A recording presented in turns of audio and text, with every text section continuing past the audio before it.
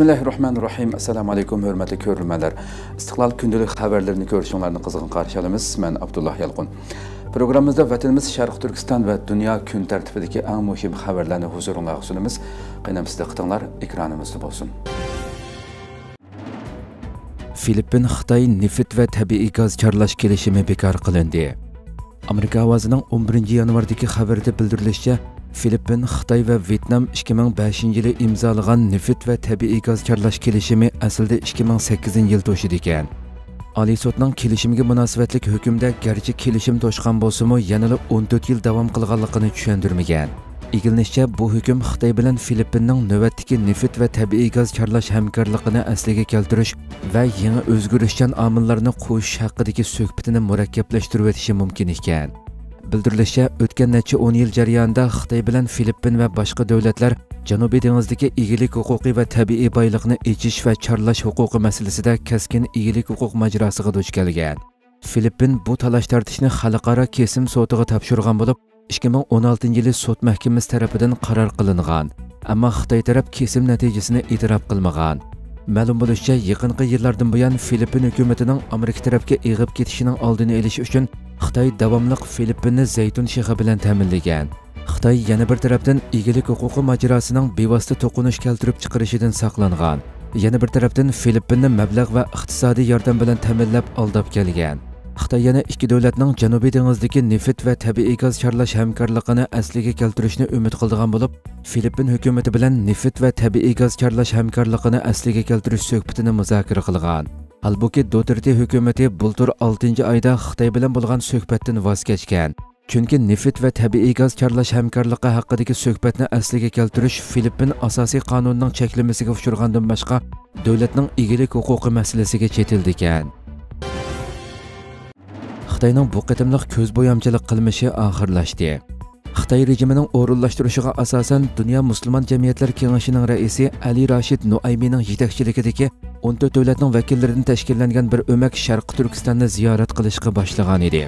Mazkur ko'z bo'yash ziyorati doirasida xitoy o'makni 9 yanvar sharqi turkistonning oltoy viloyatini ziyorat qildirgan va oltoy chorvachilarining uylarini hamda oltoyning qorliq dalolarini ziyorat qildirib ularning ko'zlarini oli chakman qilgan holda xitoy rejimining sharqi turkiston xalqiga yurgizayotgan irqiy qirg'inchilik jinoyatini to'liq yoshirib uyg'urlarning intayin bayoshat va xotirjam yashayotganligiga ishontirishga tirishgan 12 yanvar Wang to'rining xabar qilishicha Xitoy rejimi mazkur o'makni 10 va 11 yanvar kunlari Qashqar viloyati Qashqar qadimiy shaharni ziyorat qildirgan.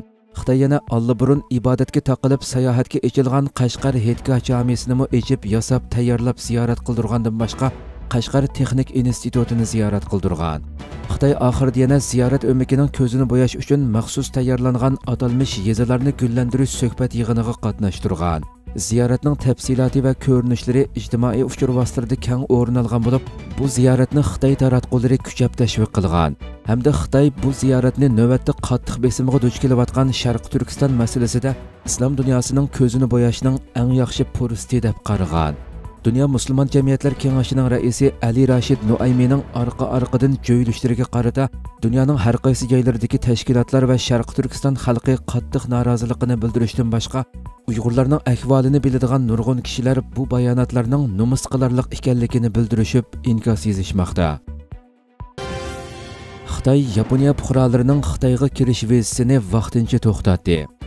xitoy yaponiyadan o'ch olish maqsadida yaponiya fuqarolarining xitoyga kirish vizasini vaqtincha to'xtatganligini e'lon qildi. Xitoy xalq to'rining xabarida bildirilishicha xitoyning yaponiyada turishliq bosh elchixonasi 10 yanvar kashda uqtirish chiqarib shu kundan boshlab xitoyning yaponiyada turishliq elchixona konsulxonalarining yaponiya fuqarolarining xitoyga boradigan odatdagi vizasini tekshirib tarqitishni vaqtincha to'xtatganligini e'lon qilgan. Mazkur uqtirishda vizani tekshirib tarqitish qachon asliga keladiganligini bilmoqchi bo'lsangiz uqtirishni kuting deyilgan. Rossiya sputnik xabar agentligining xabar qilishicha yaponiya 8 yanvardan boshlab xitoydan yaponiyaga kirgan yo'lovchilarga qaratilgan yuqumning oldini olish tadbirlarini kuchaytgan. Buning ichida xitoydan yaponiyaga bevosita uchadigan yo'lovchilardan aeroplanga chiqishdan 72 soat burun olgan sog'lomlik tekshirish guvohnomasi bilan ta'minlashni talab qilgan. Undan boshqa xitoy fuqarolari yaponiyaga kirgandan keyinmi sinoq tekshirishini yo'lga qo'ygan. Shuning bilan xitoyning yaponiyadagi bosh elchixonasi yaponiyadan o'ch olish maqsadida 10 yanvar uqtirish e'lon qilib yaponiya fuqarolarining xitoyga kirishda ishiltadigan odatdagi vizaning vaqtincha to'xtatilganligini bildirgan.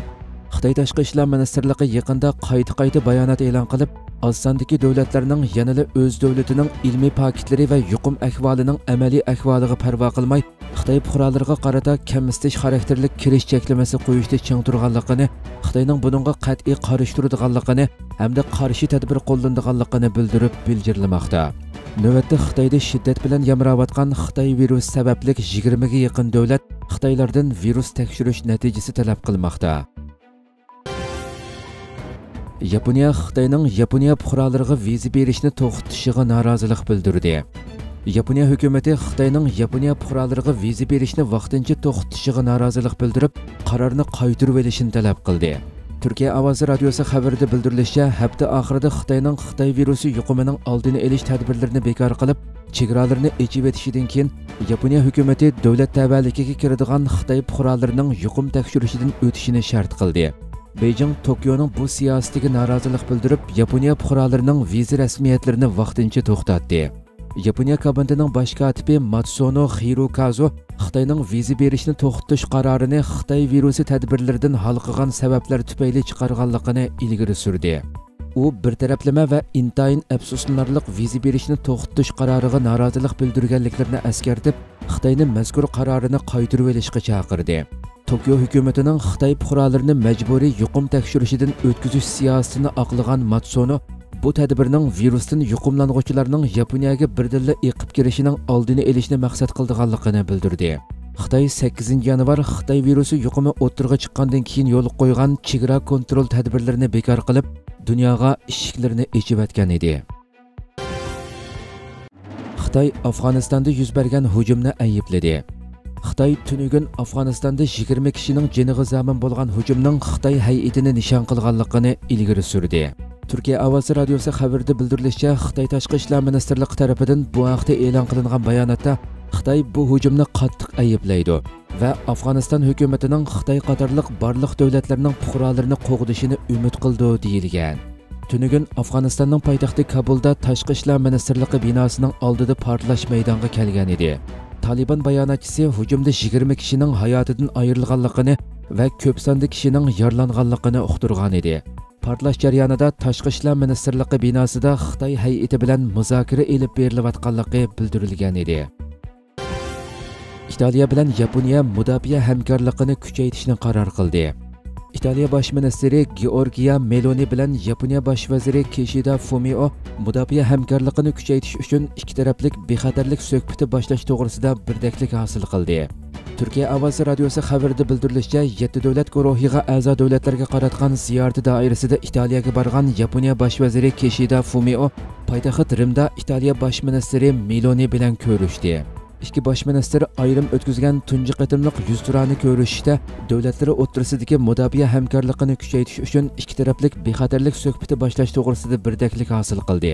Kishida suhbatlardan keyin o'tkazilgan muxbirlarni kutib olish yig'inida mudofaa hamkorligidagi ilgirlashlardan keyin tokio bilan rimning bexatarlik suhbati boshlashni qaror qilganligini bildirdi kelishim sanoat va bexatarlik hamkorligini qulaylashtirdi degan yaponiya bosh vaziri yaponiya davlati italiyaning hindi tinch okean rayoniga bo'lgan qiziqishidan xushallik his qilganligini qayd qildi. 2023 yillik 7 davlat guruhi boshliqlar yig'ini 19 maydan 21 maygacha bosh vazir kishida fumioning sohibxonligida yaponiyaning g'arbiy janubidagi xiroshimada o'tkaziladi qozog'iston Nazarbayevning bir qator salohiyat va huquqlarini inovasiz qildi. Qozog'iston asosiy qonun mahkamasi sobiq prezident nursulton nazarboyevga berilgan bir qator salohiyat va huquqlarni o'z ichiga olgan qonunning inovasiz qilinishini tasdiqladi.